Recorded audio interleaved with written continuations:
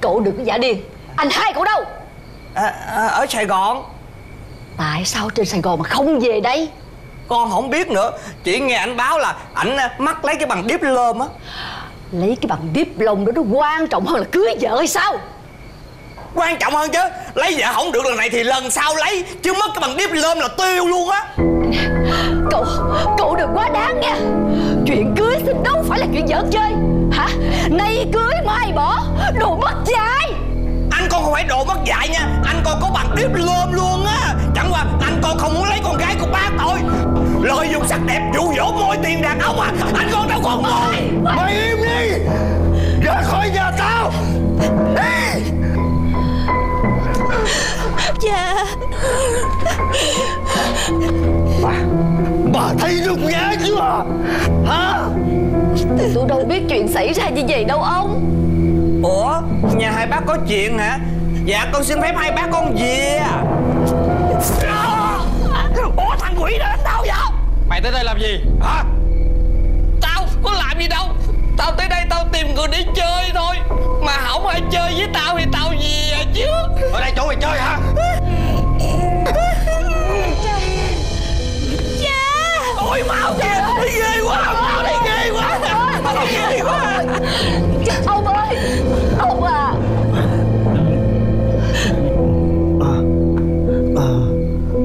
Bà Thành à, Con Dạ, dạ con thấy bác Còn có thể Có thể Bỏ qua chuyện ngày này Được không Dạ được bác, dạ được. Cha Con Con có còn thương con Hải Không?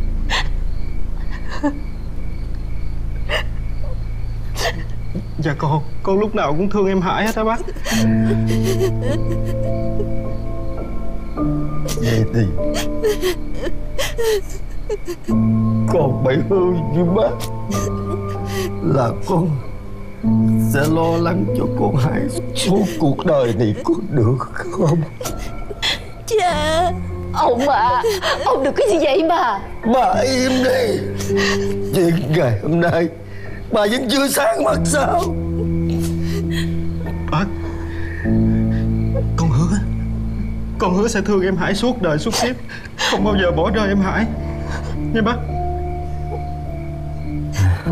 Hải Dạ.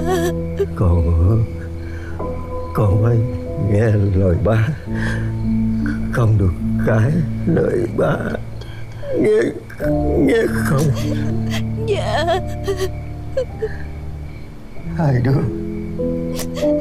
Hai đứa cố gắng Sống Hạnh phúc. Nghe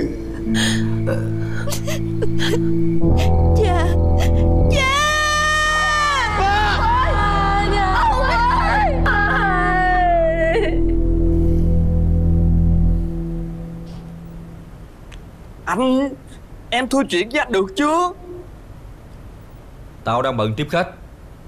Mày chờ chút đi. Chờ gì nữa? Thì tao nói mày rồi. Tao tiếp khách xong Rồi tao mới tiếp tới mày.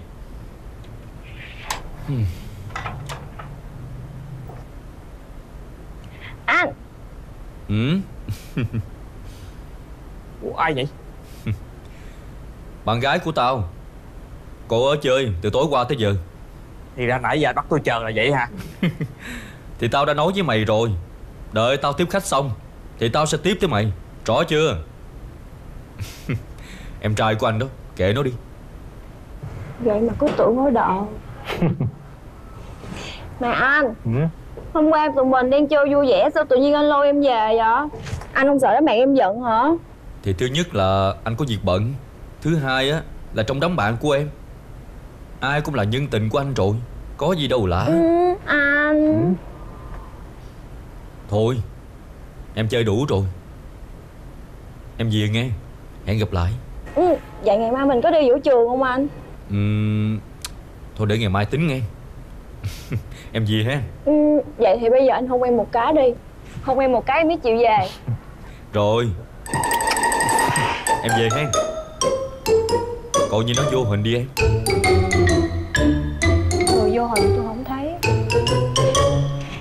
về nha ừ. Bye em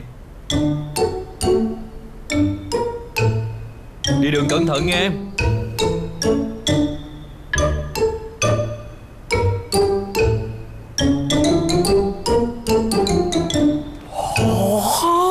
Mày làm gì vậy? Làm như lần đầu thấy gái vậy? Tôi ngạc nhiên Vì tháng trước á, tôi thấy người khác Tháng này tôi thấy một người khác Chỉ cần hai ngày trước mày ghé đây thôi Đã gặp một cô gái khác rồi Cần gì tới tháng trước? Ôi anh xài phí cái đẹp của anh hai. Tại tụi nó như một lũ thiêu thân bám vô tao thôi. Ừ đúng rồi. Chính vì anh mãi mê gái đẹp Anh gây ra chuyện lớn rồi anh hai. Chuyện gì? Anh gián tiếp làm chết người.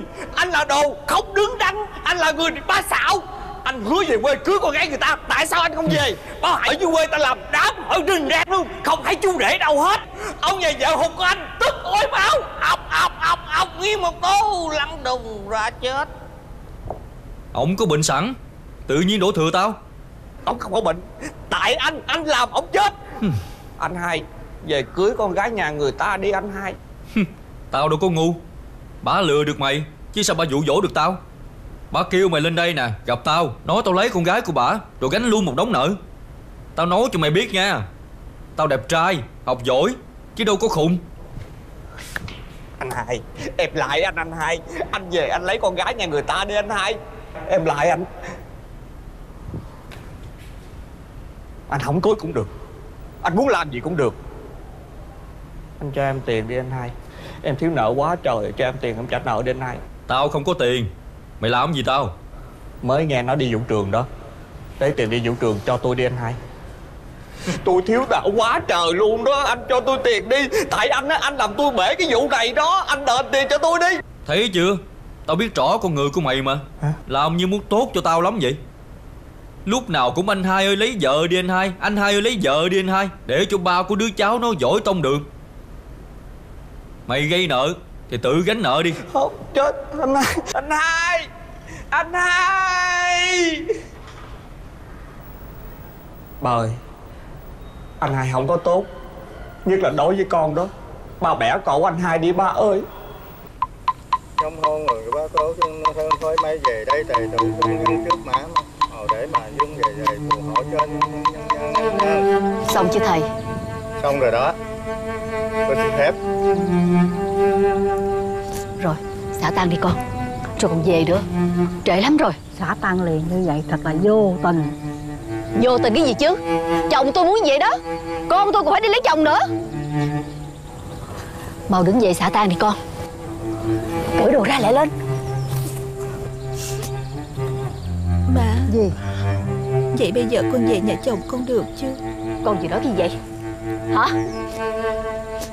Trước khi cha mất Cha đã nhờ anh Ba Thành Sẽ chăm sóc và lo lắng cho con suốt đời Kể từ ngày hôm nay. Con Sẽ trở thành vợ của anh Ba Thành rồi. Con vừa nói cái gì vậy? Thằng Ba Thành đó hả? Con của má là con cành vàng lá ngọc Mà đi lấy một cái thằng khao khố rách áo ôm vậy à? Hả? Bây giờ con cởi đồ ra Rồi à, về với má. Muốn lấy chồng á Thì từ từ má kiếm một cái nơi nào đó đàng hoàng cho con. Đúng rồi đó. Cởi đồ ra xả tan đi. Con đi nha ma. Con đi đâu? Chờ má với. Nè. Thằng kia Mày đến đây làm gì? Hả? Mình đi đi.